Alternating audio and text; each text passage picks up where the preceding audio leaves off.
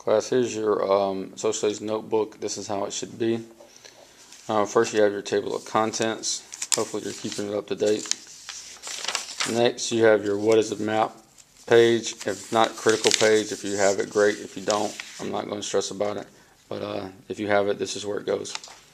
Next, you have your government um, distribution of power, talking about unitary, confederation, federal. Next, you have your autocratic, um, oligarchic, and de uh, democratic page, talking about the citizen participation in government. Next, you have your uh, two types of democracies, presidential and parliamentary. Pay attention to the charts down here, be able to explain those two.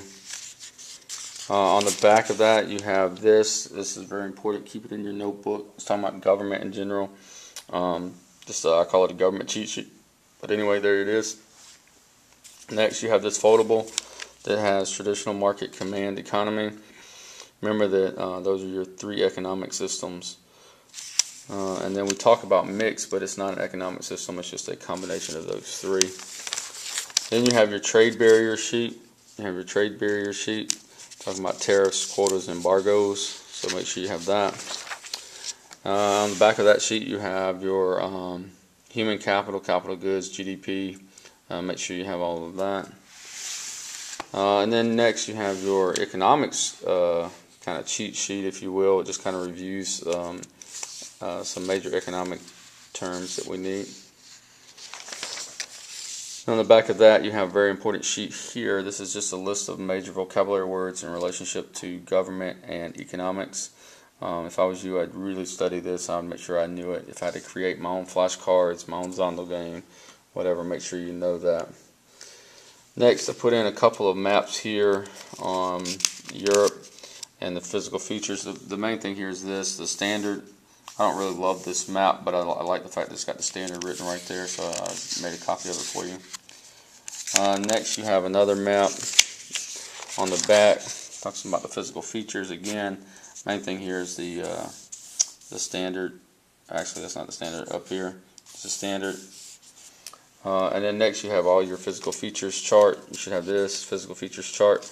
Um, you know, you should have all of that information for each one of those in there. And then next you have your uh, European geography, know on all the countries. You know, remember that um, I told you the saying, please stop fighting big grumpy people, use respect in the United Kingdom. Um, so remember that phrase to help you remember Portugal, Spain, France, Belgium, Germany, Poland, uh, uh, Ukraine, Russia, uh, Italy, and United Kingdom. So anyway, just remember that. And next you have your physical features that you need to know. So make sure you have that labeled. Um, Finally, next you have uh, your um, QPA study guide, QPA 1 study guide, so make sure you have that. Uh, that's good information to constantly refer back to for your major tests at the end of the year. Um, here again, there's some more information for you there. Next, we have your um, Age of Exploration, European Age of Exploration Colonization. It's the one that has a little sailboat on it. Uh, and then on the back of that, I had a map, a real map, where you can uh, show where each of these areas were colonized, where each of these areas had their colonies.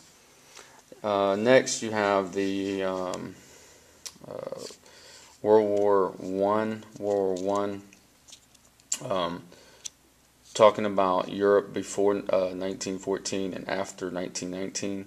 Um, so if you have this, great. If you don't, it's okay. Um, some groups, some classes I did it in groups, and some classes we did it individually. So again, if you have this, it goes here. Next, this one everybody should have as main, talking about the main cause of World War One, and then you might should have some notes over here about the spark that uh, caused it, talking about the assassination of Franz Ferdinand. And then here we're going to look at, um, next we're going to look at the Russian Revolution. I'm going to try to get that covered today.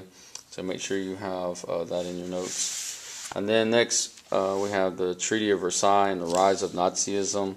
There's your good buddy Hitler. Um, we'll be talking about him pretty good bit. Anyway, just something for you to make sure you have your notes. And then next we're going to have this document here. This is a Treaty of Versailles. Um, this talks about the Treaty of Versailles and how the Treaty of Versailles leads to uh, World War One. So anyway, make sure you have your notebook. Make sure you have it good and organized. Uh, a little bit long on the video this time. But anyway, make sure you have your uh, notebook organized and you are prepared for class.